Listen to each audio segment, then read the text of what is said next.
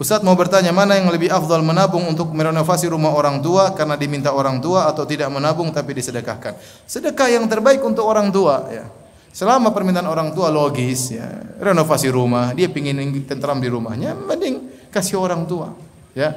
Kata Allah Subhanahu wa taala ya, yas'alu wa yas'alunaka madza yunfiqun. Qul ma anfaqtum min khairin falil walidaini wal aqrabin wal yatamal masakin wa ibnis sabil.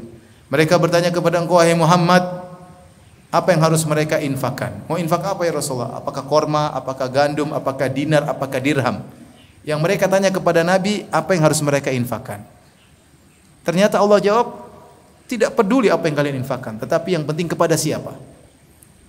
Kul ma min khairin, infak apa saja yang kalian keluarkan berupa kebaikan, falil walidaini. Yang pertama kepada kedua orang tua, wal aqrabin kepada karib kerabat, wal yatam wal masakin, anak yatim dan orang-orang miskin.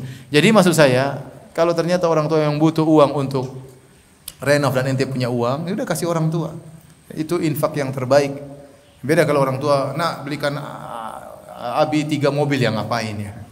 Ya emang nggak masuk akal. Di luar daripada yang logis. Tapi kalau emang rumahnya perlu renovasi, perlu perbaikan agar lebih indah misalnya, eh, kemudian butuh AC yang baru, apa-apa kita senangkan hati orang tua. Kita sudah merepotkan mereka dari dulu dalam perut Ibu kita sudah repotkan ibu, sudah repotkan ayah ya.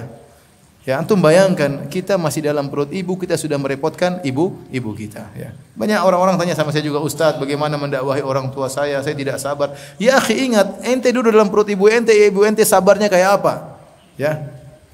Kalau dia tidak sabar begitu lahir langsung dia krek nih bikin Ini dari kecil bikin saya susah sejak sejak hamil udah muntah-muntah sana sini. Suami juga repot ya. Suami juga repot. Tiba-tiba ngidam pingin makan ini, makan itu. Jam 12 malam minta gado-gado. Sudah tutup ya. Zaujati. Sudah tutup subhanallah. Saya sering cerita, ada kawan saya lulusan Madinah. Dia naik bis, tahu-tahu istrinya lagi ngidam bilang, "Mas, saya pingin makan rujak."